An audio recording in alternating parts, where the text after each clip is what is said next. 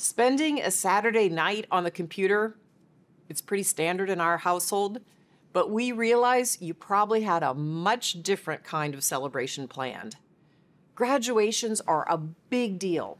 Even though there's only one name on that diploma, I bet there are a lot of people in your life who feel a huge sense of pride in your accomplishment. You deserve to feel the love of your whole community right now.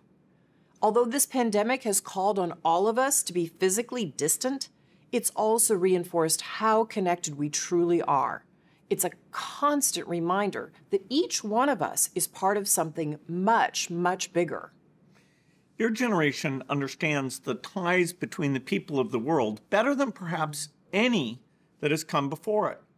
Many of you have been logging onto the internet since you could read.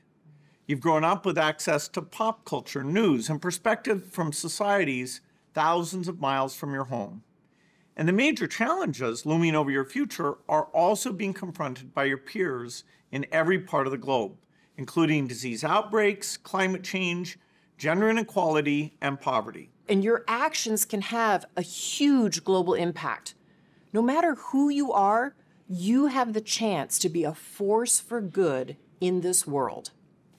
If this crisis has inspired you to pursue a career in public service, that's fantastic.